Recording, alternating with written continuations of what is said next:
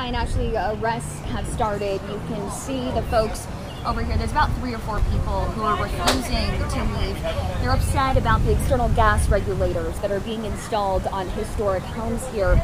So they've been blocking BGE workers from doing their job since about 7 a.m. this morning. Police officers have been going back and forth speaking with these folks. They've given them three warnings and those warnings are up. They are now being arrested. You can see one of the main protesters there, Thiru Vignarajah, a lawyer, is representing them. He's here with them. We've seen one person arrested so far. This is the second individual to be arrested. Uh, we're told that this has to do with a trespassing charge and blocking a utility from doing their work. You can see that they are being loaded into the wagon right now. This is Maggie. She is another protester and all of these women, we have three so far. Hey Maggie, do you want to say anything? Brooklyn Gas and Electric should be ashamed of themselves. This is an abomination. And they know it. That was Maggie just now. We spoke with her previously about what's going on here. She is very upset about these external gas regulators being put in place. She is one of the protesters. She's been here all day, so you heard that message from her. They are all getting very upset here as they're being loaded into the wagon here. They have been having civil discourse throughout the day with police, but you can see it is obviously very heated right now. This is just outside Federal Hill Park. In fact, I'm standing in Federal Hill Park right now. This is where we're at. In Federal Hill, you can see police officers. Again, they've given really them a few warnings. this. This deserves to be blown up. BGE is a predatory company. Media, get it done for us. Three people right now being arrested for trespassing and blocking a utility from doing work. We have dozens of BGE workers standing on the side here. They have not been able to work since 7 a.m. this morning. They've been standing around waiting to do work.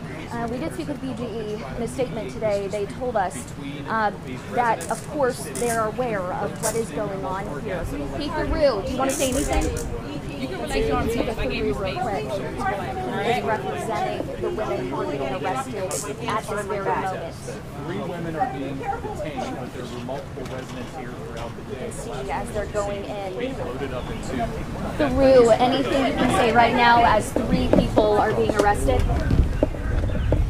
Um, this is one of the most sickening scenes I have seen in Baltimore. Um, BG&E ought to be embarrassed and ashamed of itself. Uh, I don't blame the people out here that are supposed to be doing the work. I'm embarrassed at the idea that BG&E had enough political muscle that it could snap its fingers, get an extended permit, and order a platoon of police officers in a police force that is depleted to come down and arrest three women, handcuff them for what exactly? For trying to stop BG&E from turning an old man's gas off. And what did he do wrong?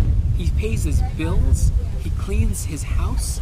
He is a citizen, a, model citizen. What did he do wrong? He didn't want BG&E to drill into the marble facade of his home to put on an external regulator so that BG&E could pad its profits. And for that, they got arrested. We don't, we don't have cops enough for carjackers and killers, but for three women that were trying to stand up for their community and protect the historic character of Baltimore, all of Baltimore, um, BG&E ought to be ashamed of itself, and uh, this ought to be as clear a signal as anyone needs to see about the disproportionate power that this utility company has in the city, the way they abuse it, the way they have politicians on strings. It is, I, I've never seen anything like it. People have called around this city for years asking for open air drug markets to be cleaned up, for uh, carjackers and killers to be addressed, to be arrested. A platoon all day. There were what, 20 officers, uh, brass, rank and file, all out here today to make sure that BG&E could do its precious work of turning a paying citizen's gas off because the, he didn't want them to drill into his house. Thank you, Thiru. So again, you can see that we have the police vehicles here. Again, three women have been arrested at this very moment. BGE is starting work again. They have been waiting since 7 a.m. to do this. Now, what Thiru was mentioning there is that they're not only protesting the installation of these external gas regulators, they're also upset because they say some of their neighbors have had their service shut off for not allowing the regulators to be installed. So that is why they're protesting today. Of course, we are going to have much more on this as this is escalated throughout the day. But for now, live in Federal Hill, I'm Tommy Clark, WBAL TV 11 News.